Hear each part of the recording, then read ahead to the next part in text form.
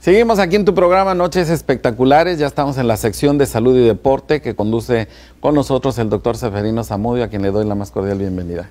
Gracias, Salvador. Muy Bienvenido. buenas noches. Gracias. Bueno, pues hoy tenemos como siempre un programa muy interesante. ¿De qué vamos a hablar, doctor? Pues fíjate que este 16 de enero pasado tuvimos eh, ahora sí que un aniversario luctuoso de un joven que realmente fue pues una gente muy destacada dentro del deporte en México.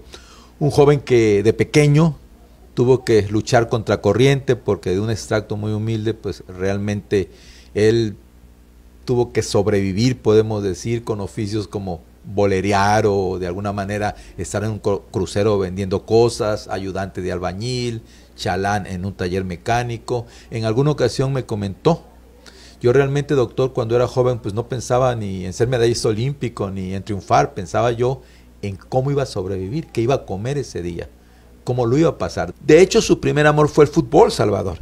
Y bueno, jugaba fútbol de jovencito con los zapatos prestados del cuñado. Alguien lo vio, le vio posibilidades de ser corredor o ser marchista, lo invitaron al Centro Deportivo Olímpico Mexicano.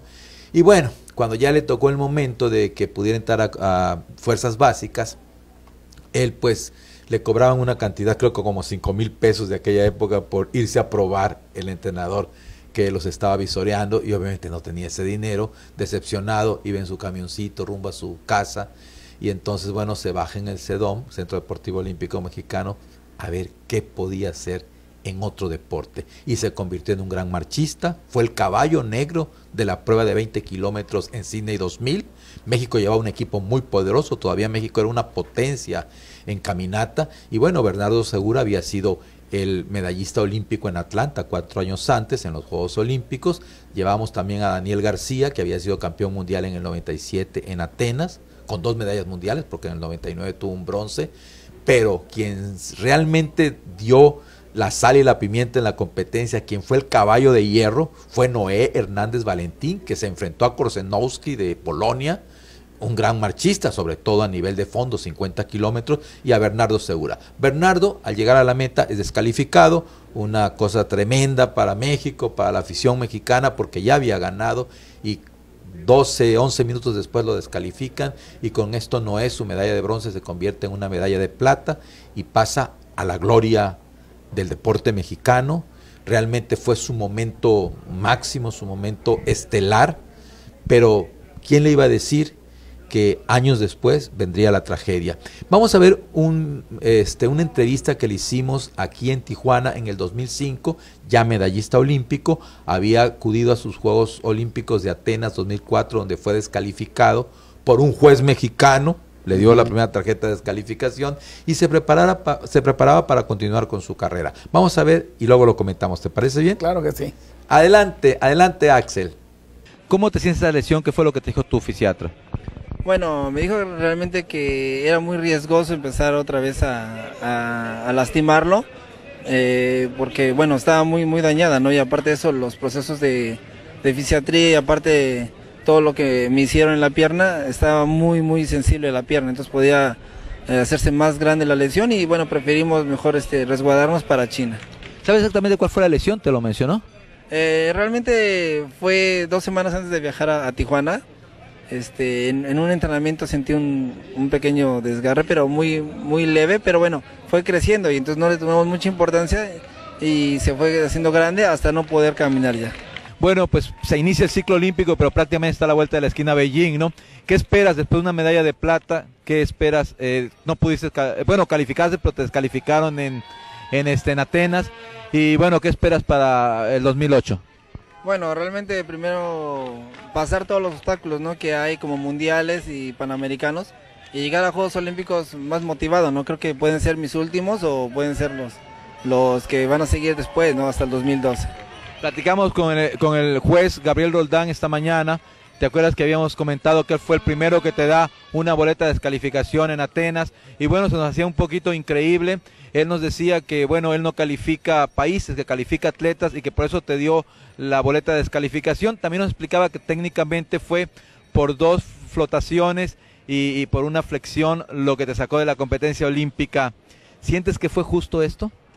Bueno, es como se los comenté, su, su decisión de él, ¿no? O sea, si no lo siente eh, adentro la, el cariño por la marcha, bueno, pues que no opine así, ¿no? Mejor que se dedique un poquito más a, saber lo que es la marcha, ¿no? Y no en la jabalina.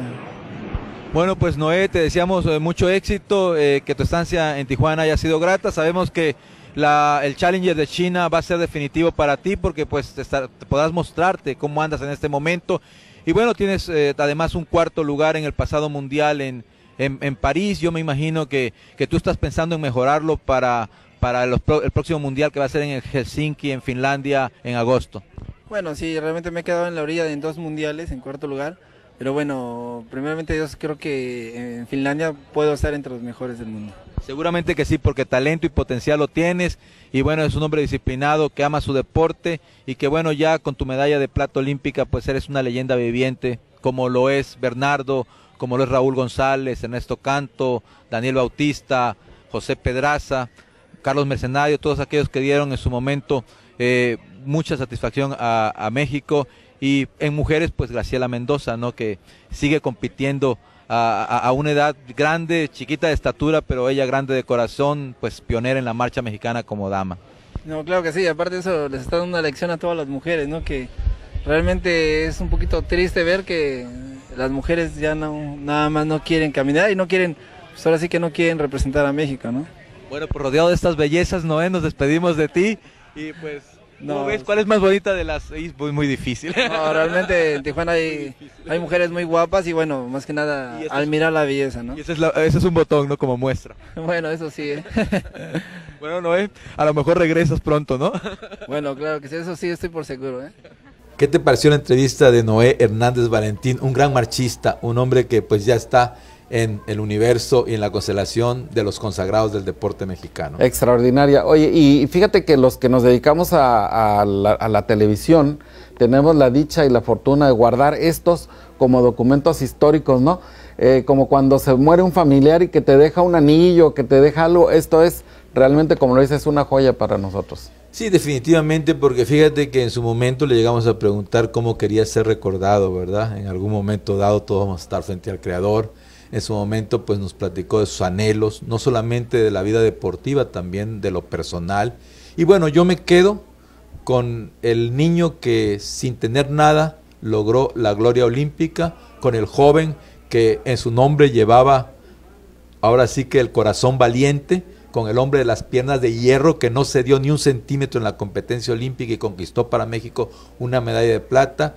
Y qué lejos estaba en ese momento, en el 2005, de pensar que unos años después, en el 2012, a finales, el último día del año, en una situación estando tomando un aperitivo con algunos amigos, una balacera, una bala que se le incrusta en el cráneo, pierde un ojo y días después, por una complicación, pierde la vida un 16 de enero del 2013. Entonces, siete años de que se fue, su, ahora sí que, que, se fue la parte física, pero su, sus arrestos como deportista, su calidad como ser humano, porque era un hombre muy sencillo, queda como una herencia para sus hijas, porque ya estaba casado para entonces con Vianey Pedraza, sobrina del sargento Pedraza, otro ícono de la marcha mexicana.